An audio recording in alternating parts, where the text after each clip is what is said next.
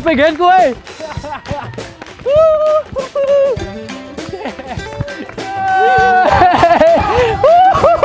Waduh.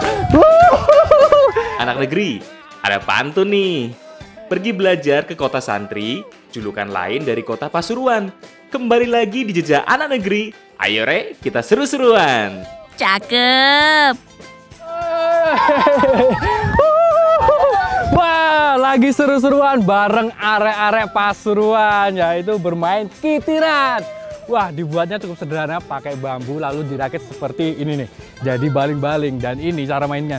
Dibawa lari kencang biar ini muter seser. Wah. Wah, seru banget ya. Oh, eh. Selain itu kita akan menjelajah budaya, kuliner dan juga kekayaan alam di Pasuruan. Wah, seru banget juga Tang ya. Iya. Wah, karena alam memberi banyak manfaat. Wuh.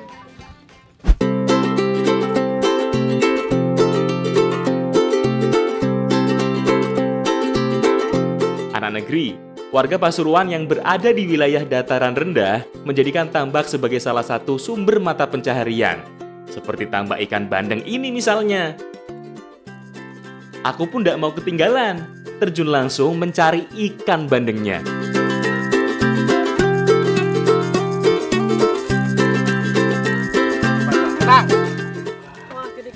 Sekarang lagi berada di desa Patuguran Pasuruan. Nah, di sini tuh terdapat banyak sekali tambak-tambak yang mana itu menjadi mata pencarian mereka. Nah, sekarang lagi ngebantuin ngejaring ikan bandeng ya Pak ya? Iya, bandeng. Tantangannya, ini karena ditambah itu lumpurnya dalam, jadi melangkah itu susah banget. Waduh Pak, kesel apa apa ya Pak, tapi hasilnya akeh loh Pak. Oke, apa-apa kesel. Hasilnya akeh. hasilnya akeh. Waduh, ternyata menjaring ikan di tambak pun tak semudah yang aku bayangkan. Penuh perjuangan di bawah terik matahari dan lumpur. Eh, eh, eh, eh, eh, ada apa nih? Kok ada yang gerak-gerak?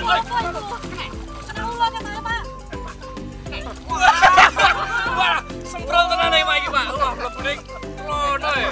Bahaya ya. Yo, bandeng wedok bandeng. Bantu itu ya Pak. Ternyata untuk panen bandeng ada usia tertentunya nih. Wah, gede tuh Tang, tuh Tang. Gak cuma bandeng Tang iki lho Tang. Wah, udang iki akeh Tang. Lemu-lemu ya. Oh, oh. Jadi di daerah sini bandeng dipanen sekitar usia 4 sampai 5 bulan Mas Apip. Oh, iya. Nah, ini panjangnya sekitar 30 cm. Gede. Untuk satu tambak seluas 1 hektar itu kita bisa memanen 7 kintal sampai dengan 1 ton bandeng. Wah, kemon iku Tang. Iya. Eh. Ya wes ayo. Ya wis tak gone ngene. Buat wis tak gone wae rawo. Eh, ngono Tang.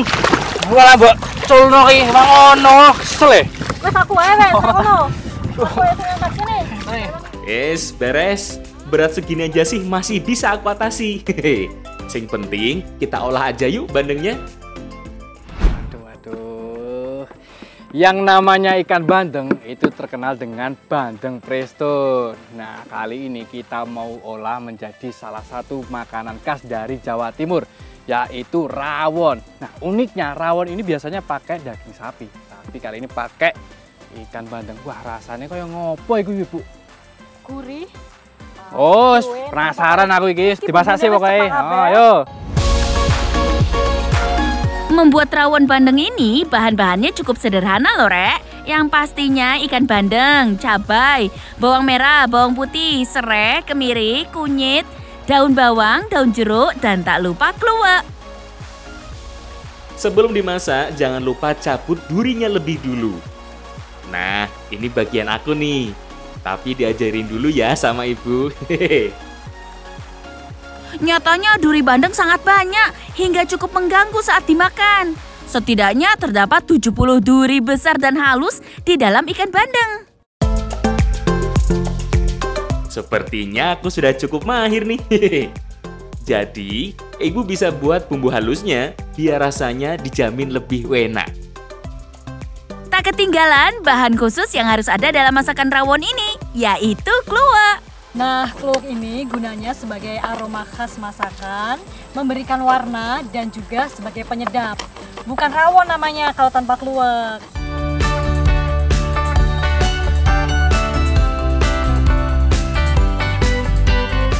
Oke, Langsung aja aku tumis bumbu halus beserta daun jeruk dan serai. Nah, kalau sudah harum, tuangkan air dan tabur daun bawangnya ya, Rek. Terakhir, masukkan bandengnya, kemudian aduk rata dan tunggu sampai matang. Iki rek, rawon bandengnya sudah jadi.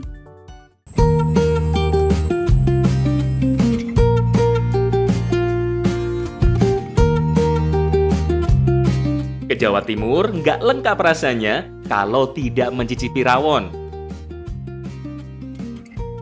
Di balik warnanya yang hitam, terdapat rasa yang pastinya ecok atau enak.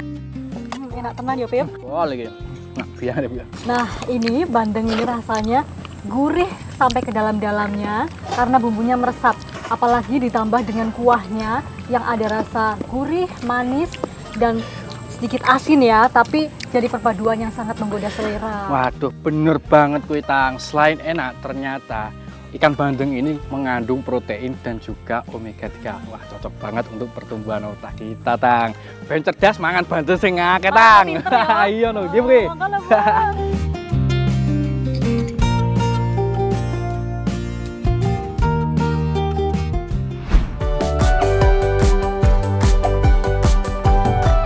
Anak negeri, di kota Pasuruan terdapat budidaya buah yang rasanya manis dan sedikit pedas loh, yaitu paprika.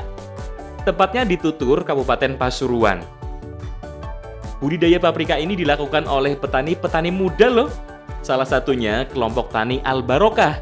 Populasi paprika di sini mencapai kurang lebih 100 ribu. Selain warnanya yang cantik, paprika juga mengandung banyak vitamin C loh. Bahkan lebih banyak daripada jeruk. Wah. Yuk kita petik lebih banyak lagi. Budidaya paprika di sini ditanam di dalam greenhouse. Tujuannya untuk melindungi tanaman dari kondisi iklim yang merugikan bagi pertumbuhan tanaman. Lagi di Desa Telogosari, Tutur Pasuruan. Nah, ini kita lagi bantuin metik paprika yang mana masyarakat sini itu mayoritas pembudidaya paprika. Nah, sejenis ini paprika ini masih sejenis terong-terongan. Nah, ciri-cirinya kalau yang masih hijau itu dia masih muda tapi sudah bisa dikonsumsi. Nah, untuk yang lebih tua itu yang warna merah atau yang warna kuning, ya Tang ya? Nah, kita ayo ayo tenan ya. Wah, iya. Jadi di sini itu sirkulasi panennya secara bergantian terus menerus dan tidak mengenal musim, Pi. Ngono toh, Tang? Iya, dan kita panennya mulai dari bawah itu yang sudah tua. Oh. Iki, Pak. Ya cukup burung iki, Pak. Tenan. Wis orane? Nah, ya wis, Pak. Ayo, Pak. Go, Pak. Udah banyak nih. Saatnya kita olah jadi kuliner yang lezat yuk. Sekarang kita mau mengolah salah satu komoditi unggulan juga yang ada di Pasuruan yaitu udang paname. Nah, kalau biasanya udang itu dibakar aja udah enak. Kali ini kita mau bikin jajanan yang jadi favorit yaitu siomay. Siomay udang ya, ya. Masak siomay paprika ini bahannya sederhana loh. Yang pastinya paprika, telur, bawang merah, bawang putih, merica, tepung terigu, tepung tapioka, dan juga udang hasil tangkapan tadi. Nah, biar aku yang bersihin udangnya dulu aja nih. Siap, aku yang ngurus paprikanya dan ibu siapkan bumbunya biar bu enak. Udang yang sudah dibersihkan, kemudian aku haluskan bersama bumbu. Tujuannya agar bumbunya lebih meresap ke dalam udangnya. Nah, ini kita menggunakan bahan dari paprika. Selain sebagai bahan, kita juga menggunakannya sebagai tempat buat siomay udangnya nanti, Pip. Oh, ngono ya. Ah, unik berarti ya, Tang. Iya. Langsung aja kita bikin adonannya nih. Campurkan telur, tepung tapioka, dan tepung terigu. Masukkan juga udang tadi yang sudah dihaluskan ke dalam adonan. Jangan ketinggalan paprika yang sudah aku iris datu. Ini yang unik nih, adonan yang sudah tercampur rata kita masukkan dalam wadah dari paprika. Nah, kalau kayak gini sih, wadahnya juga bisa aku makan nanti. Wah, iki lho, Bu. Apik ya ngono, Bu. Kan iki- pakai napi tenan loh, iki warna Apa ngenmu bepotan ngono ya, Bu ya? Bu, niki Bu. Wah, Eh. tetap apik ngene Bu wis. Nah, kene Bu. Mari ngono tak. Bu Bu ya.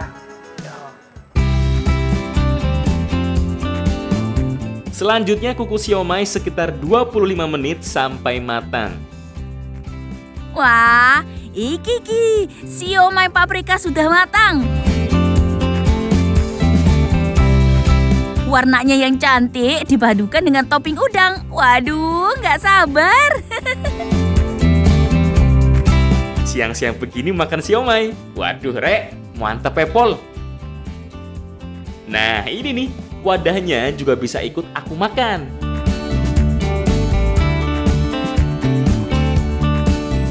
Nah, ternyata selain kandungan gizinya tinggi, rasanya itu loh, Beb.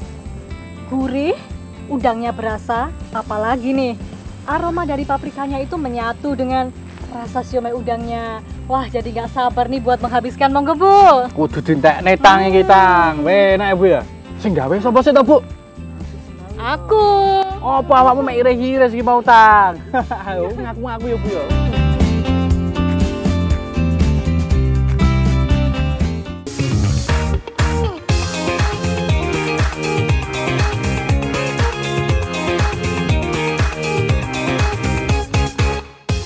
Anak negeri, seperti nggak ada habisnya hasil bumi di desa Carangwulung ini.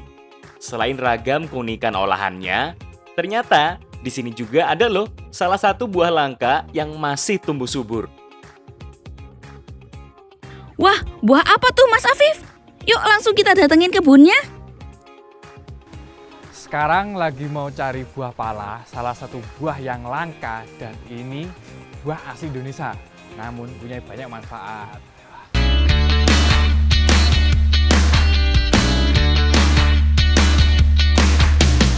Tetap hati-hati yo, buah pala rata-rata tumbuhnya mencapai 10 meteran. Jadi tinggi banget nih pokoknya.